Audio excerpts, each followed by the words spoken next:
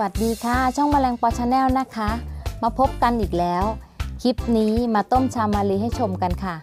ว่าต้มอย่างไรบ้าง ตามมาชมกันเลยค่ะ 1 กล่องชามาลีจะได้ 1 ถุงใหญ่ถุงเดียวนะคะนำมาแล้วมัดปากถุงให้แน่นสนิทเลยนะคะกันสมุนไพรออกมาค่ะ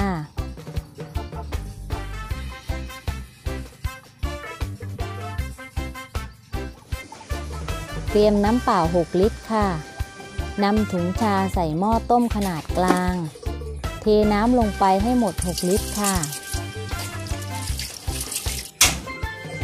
เปิดเตาแก๊สโดยใช้ไฟกลางนะคะ แล้วปิดฝาหม้อรอ 5 นาที จากนั้นเปิดฝา แล้วใช้ทัพพีคนถุงชาในหม้อค่ะ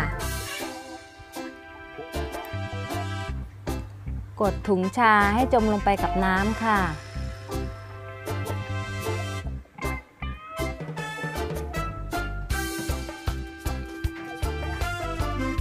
คนต่อเรื่อยๆ จนถุงชาอุ้มน้ำค่ะ ต้มชามาลีนาน 30 นาทีนะคะ เสร็จแล้วปิดไฟ ปิดฝารอจนกว่าจะเย็นค่ะ จากนั้นกรอกใส่ขวดน้ำได้เลยค่ะ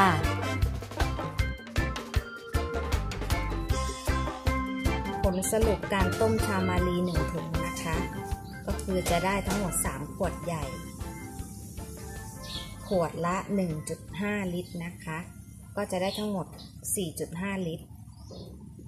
ควรจะใส่น้ำทั้งหมดคือ 6 ลิตรนะคะ เพราะว่าเวลาต้มเนี่ยเขาจะกลายเป็นไอน้ำแล้วก็จะระเหยไปในระหว่างที่ต้ม 30 นาทีเนี่ยค่ะ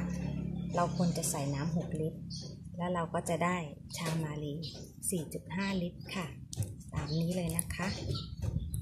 เสร็จแล้วเราก็ไปเก็บไว้ในตู้เย็นนะคะ แล้วก็มาดื่มตอนเช้า ตื่นตอนเช้ามาเลยอะค่ะ แล้วก็ดื่มไปแก้วหนึ่งนะคะ แก้วน้ำดื่มธรรมดา